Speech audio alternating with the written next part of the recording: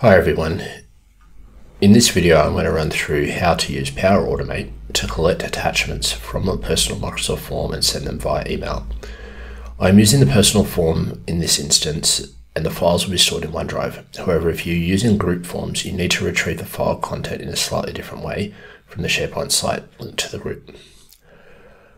The method used for getting multiple attachments and sending them via email can be used for a variety of processes, not just forms.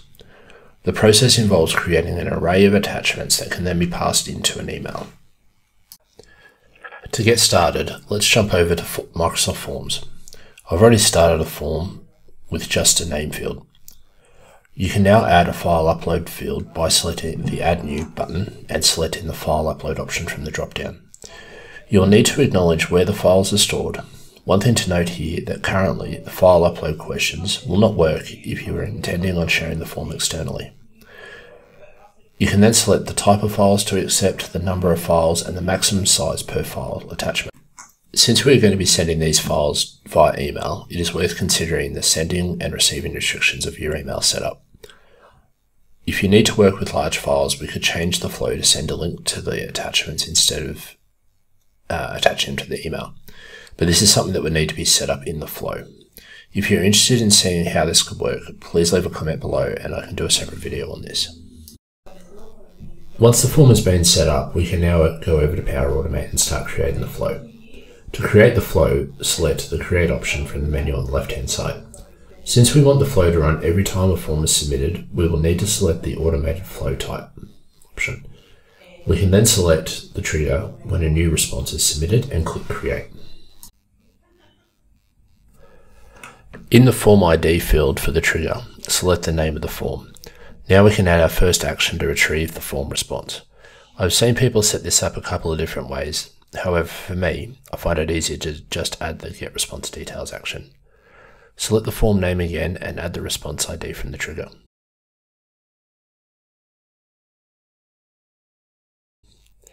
Any of the file upload questions from Microsoft Forms is returned as, as JSON, which provides an array containing information about each of the attachments.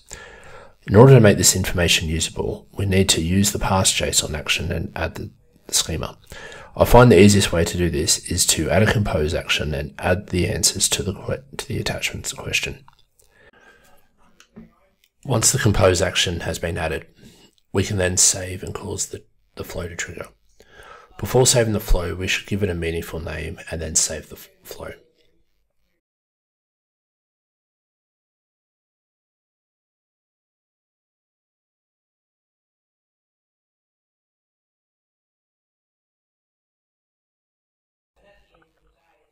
Once the flow has been saved, we can go back to the flow details screen and this will bring up all the details for the flow. We can now go back to the form we created and submit a response, ensuring that we include at least one attachment.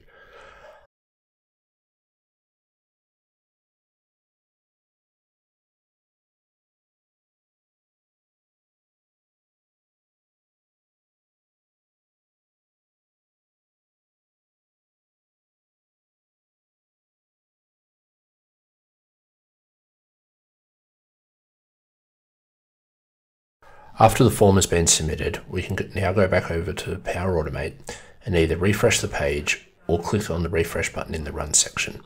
If the flow is triggered successfully, we should see a new run in the list.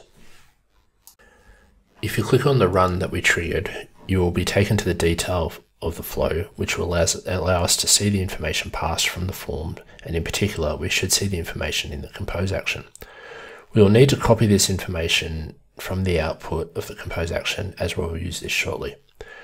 We can now start working on the flow again by clicking on the edit button.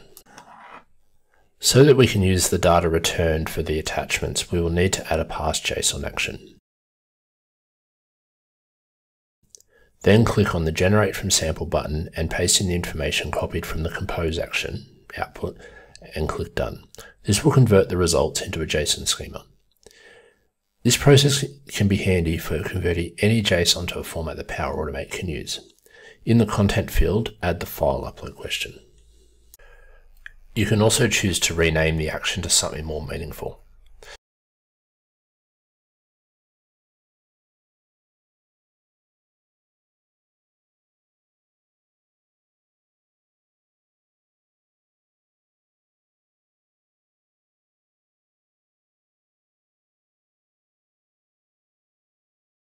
The next step is to initialize an array variable. This variable will be used for storing information about the attachments, including the file name and the file content. In this case, I'm going to call the variable attachments and set the type to, a, to an array.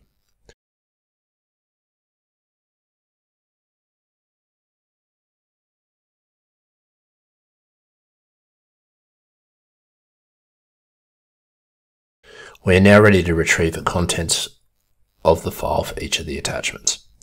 Since these files are stored in OneDrive, we can add the get file content action for OneDrive.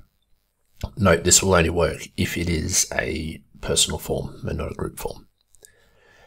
And in the, uh, in the file field, select the ID value from the JSON action. Since there could be multiple files and the JSON action is holding an array, this action will be wrapped in and apply to each loop control. Now that we have the file content, we can add the file to the array. So that we can use the attachments array in the send email action, the item we need to add to the array needs to include the name of the file and the content of the file. To do this, we can use the append to array action and create an object with a couple of different properties. The first property is the name. This holds the name of the file. The name of the file can either be taken from the JSON action which will be the name of the file plus the person's name based on who submitted the form, or you could create your own naming scheme. In this case, I'm just going to use the name of the file that was submitted with the form.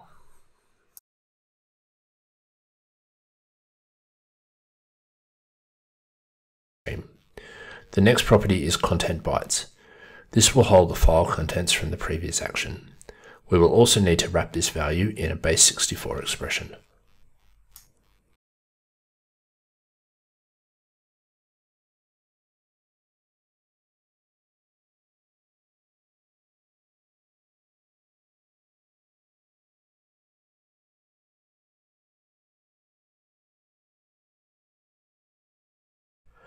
We are now ready to add the send email action. In this case, I will use the send email action for Office 365 Outlook, as the action provides us with more control and options such as who is sending the email.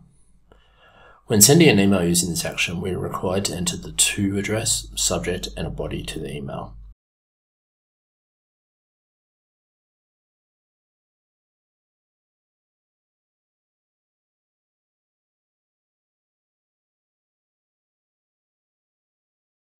We can then look at the advanced options by clicking on the show advanced options link. This is where we can set up the attachment. By default, the action is set up to allow you to enter one attachment at a time by entering the name and attachment content. However, in this case, we may have multiple files to attach. So in order to use the attachments array, we need to click on the little T button and the view will change. We can now add the attachments variable to the attachments field. The other field I normally change when using this action is the importance. If this field is left blank, the email will send with a low importance. However, depending on what you're using the process for, will determine what you use here. We are now ready to save and test the flow, and since we previously tested the flow, we can either submit a new form or select the option using data from the previous runs and select the last latest successful run. This will save you from having to fill in the form again. Once the flow is successfully run, you should be able to go over to your email or the mailbox that you sent it to and see a new email with the attachments. There may be a couple of modifications you would like to make to the flow. It's really just to tidy up the process and implement handling of an error which will occur if there are no files uploaded. The first one is really just moving the attachment array variable to the top. I think it just makes it easier if your flows have, especially if your flows have multiple variables. The other adjustment to make is handling if there are no files uploaded. I find the easiest way to do this is to add a condition control before the parse JSON action. Once the condition control is added, check to make sure that it is not blank by adding the file upload question response and setting the condition to is not equal to and leaving the value blank. We can then drag the parse JSON action, the apply to each loop, and send email into the yes branch. This will make sure that the actions only occur if there have been files uploaded to the form. Depending on your process, you could also add actions to the no branch. Thanks for watching and hopefully you've found this video useful.